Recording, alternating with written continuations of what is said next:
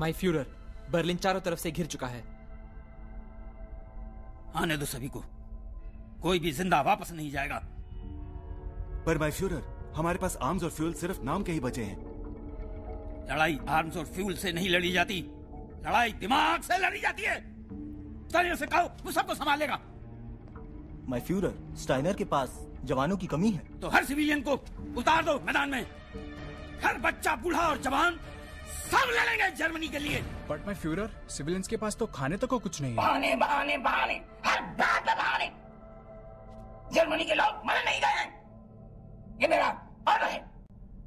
yes my Führer